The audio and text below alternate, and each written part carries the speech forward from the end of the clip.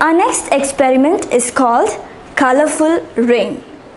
Yes, colorful rain. So how would it be if rain was colorful? It would be beautiful, wouldn't it? So here I'm going to show you how to make colorful rain. Not exactly rain, it will look like rain. So shall we see what we need for this experiment? You will need a glass, some oil, water, food dye and you will need a fork. So, do you have these things ready? Shall we get started?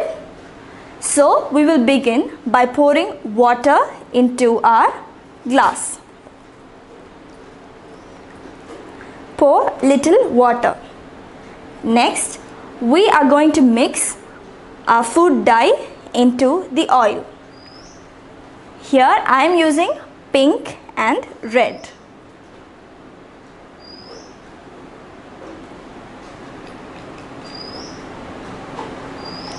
You can use any color that you like, like blue, green or yellow. I am using red.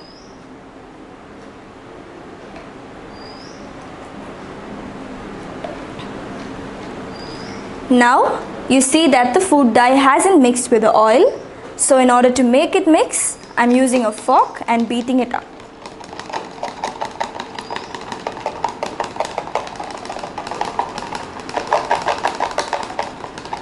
Now that this is done, I'm going to pour this into the water.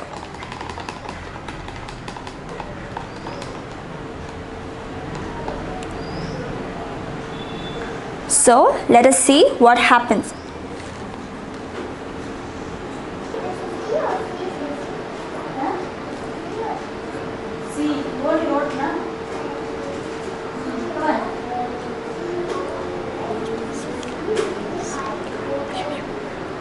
Did you see what happens? Leave it alone for some time and you can see it looks like it's raining blood, right? Is it beautiful? Yes. Now, do you want to know why this happens?